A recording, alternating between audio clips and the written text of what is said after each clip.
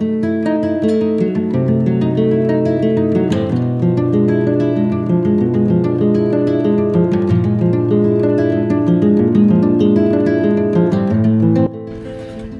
xin kính chào cô chú anh chị và các bạn. Rất là vui gặp lại cô chú anh chị và các bạn trong một video tiếp theo nữa của em tại Đà Lạt. Phía trên đây là con đường Yên Thế quý vị, Một con đường quen thuộc Và in dấu những kỷ niệm xưa, Những gì cũ nhất, Những gì về quá khứ còn sót lại bên trên. Và cũng rất là vui được à, đồng hành với quý vị và các bạn Trong một video tiếp theo Ngay tại khu vực à, đầu đường Yên Thế Và phía dưới đây là con đường Hùng Vương Con đường Lý Thế Tổ trước 75 cũng à, trong một buổi sáng trời mưa phùn, mưa bay bay rất là buồn. Và Đà Lạt buổi sáng ngày hôm nay là ngày 29 tháng 8 năm 2024. Bây giờ vào lúc 10 giờ. Có đường Yên Thế trước năm 1975 thì còn có tên là đường Tả Quân Duyệt. Và sau năm 75 thì được đổi tên thành con đường Yên Thế như ngày nay. Mặc dù là đã đổi tên mới nhưng mà trên con đường này vẫn còn những à, dấu tích của ngày xưa ví dụ như là đi vào bên trong thì quý vị sẽ bắt gặp à, cổng sau của cung Nam Phương Hoàng hậu quý vị và cũng có một số căn biệt thự của Pháp nằm lạnh lẽo dưới những tán thông già.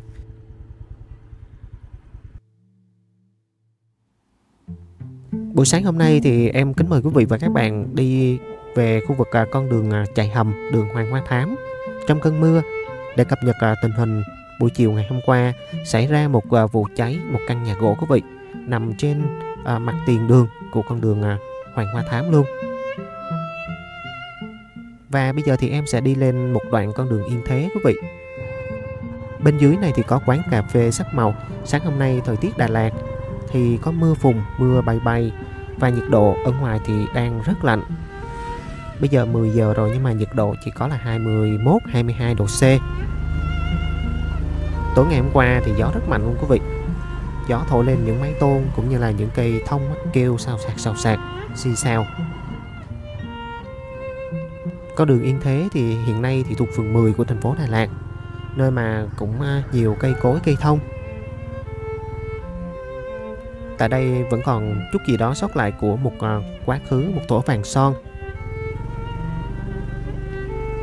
khu vực à, cung Nam Vương Hoàng hậu thì à, ngày nay trở thành bảo tàng tỉnh Lâm Đồng. Những cây cối, những cây thông ở đây buổi trưa thì tạo nên một bóng mát. Còn bây giờ lạnh á, nó cũng khá là lạnh. Bên tay trái của em thì tại đây thì có những tác phẩm nghệ thuật của nhà điêu khắc gia đó là ông à, Phạm Văn Hạng quý vị à, với những tác phẩm nghệ thuật độc đáo ở bên cạnh quán cà phê sắc màu. Thời tiết ở Đà Lạt cứ mưa như thế này cảnh vật nó cũng buồn quý vị ha. Xa xa thì có những làng sương mù. Không biết là sắp tới ngày lễ 2 tháng 9 Ngày lễ thì có mưa không Cũng hy vọng là không mưa để cho à, bà con cô bác mình đi du lịch. Chứ mưa bay bay như thế này cũng buồn. Cảnh vật phố xá cũng buồn.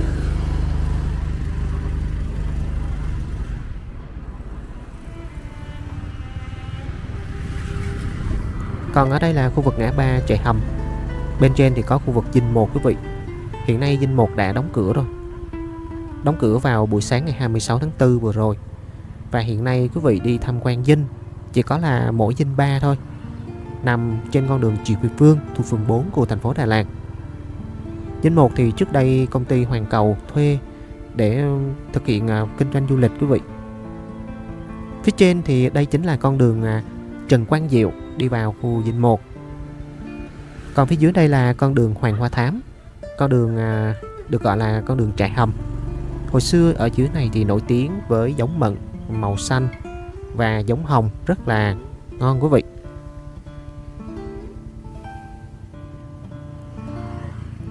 Quay trở lại với thông tin ngày hôm qua cháy nhà. Thì hôm qua thì buổi chiều vào lúc ờ, 15 16 giờ thì xảy ra một vụ cháy tại một căn nhà gỗ trên con đường Hoàng Hoa Thám. Căn à, nhà gỗ à, toàn bằng gỗ thưa quý vị cho nên ngọn lửa bùng phát rất nhanh bao trùm toàn bộ căn nhà. Và ngay lúc đó đã có 5 chiếc xe chữa cháy à, đến và dập lửa trong vòng 30 phút là đã khống chế hoàn toàn được à, ngọn lửa. Tuy là không gây thiệt hại về người nhưng đã thiêu rụi hoàn toàn vật dụng bên trong nhà. Căn nhà khoảng 60 mét vuông thì bây giờ còn lại là một đống đổ nát. À, dạo này cũng hay xảy ra nhiều vụ cháy quý vị. Và nguyên nhân vụ cháy cũng à, đang được à, cơ quan điều tra.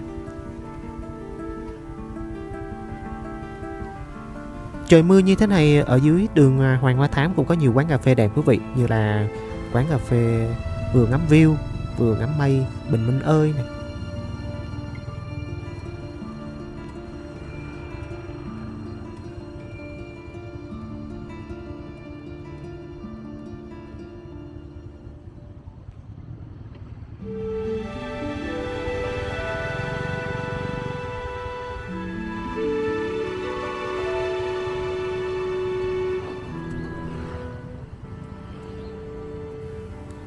Có đường Hoàng Hoa Thám, con đường chạy hầm cũng có nhiều kỷ niệm đối với cô chú anh chị và các bạn.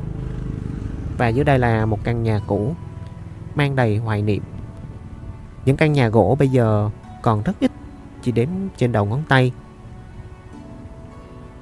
Và những kỷ niệm cũng đang dần phai mờ.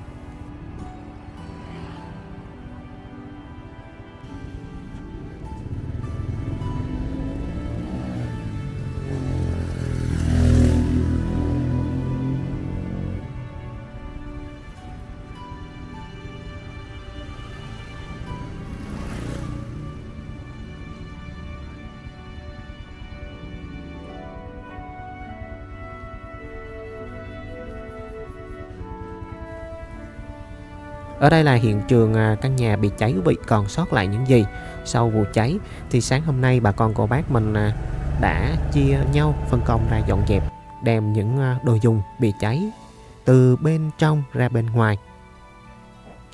Hiện trường vụ cháy thì nằm đối diện với chung cư chạy hầm luôn. Rồi giường, tủ, rồi tivi, rồi các thứ thì đều bị cháy hết quý vị. Không biết là những tài sản quý có đem ra kịp hay không hay là cũng bị cháy luôn.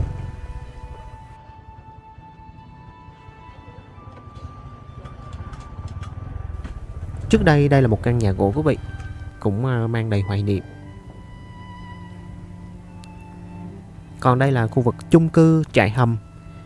À, Một ờ, căn chung cư như vậy bây giờ vẫn còn giá cao Khoảng 2 tỷ đồng một căn chung cư nhưng mà chung cư ờ, trại hầm thì ờ, ngày nay cũng ờ, cũ. Có đường Hoàng Hoa Thám thì sẽ thông về đến chùa Sư Nữ Linh Phong, nằm trên một ngọn đồi. Ngày xưa thì ở đây vắng vắng vẻ heo lánh. Bây giờ bên trong con đường này thì nhà cửa đông vui lắm quý vị, khách sạn, rồi những quán cà phê, rồi bên trong còn có nghĩa trang trại hầm nữa. Ở đây là trường mầm non đa lợi ngày xưa.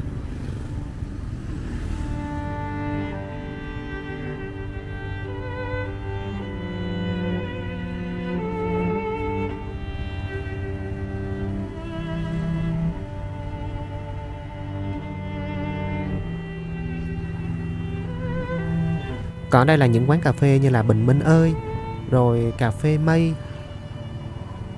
Cà phê Bình Minh ơi thì em thấy khách vẫn đông hơn quý vị.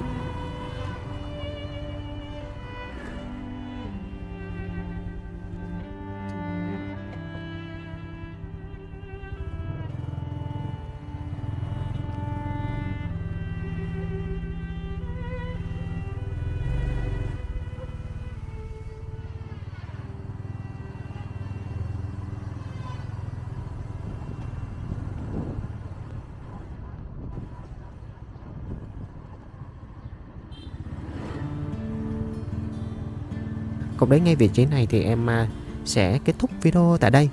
Em xin kính chúc quý vị và các bạn à, thật là nhiều niềm vui trong à, buổi sáng hôm nay.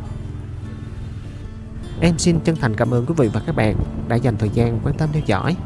À, còn bây giờ thì em sẽ tạm dừng kết thúc video và xin được à, hẹn gặp lại quý vị và các bạn ở những video tiếp theo trên kênh của em.